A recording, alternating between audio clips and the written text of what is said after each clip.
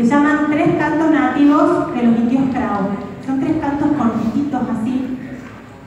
Van a ver que es un poco raro el sonido, lo que escuchan, porque es una eh, recrea eh, el, idioma que hablan ellos, que obviamente no es el mismo, el mismo nuestro, como pasa en nuestro país, hay un montón de idiomas que, que no son el castellano también, que muchos pueblos originarios lo hablan.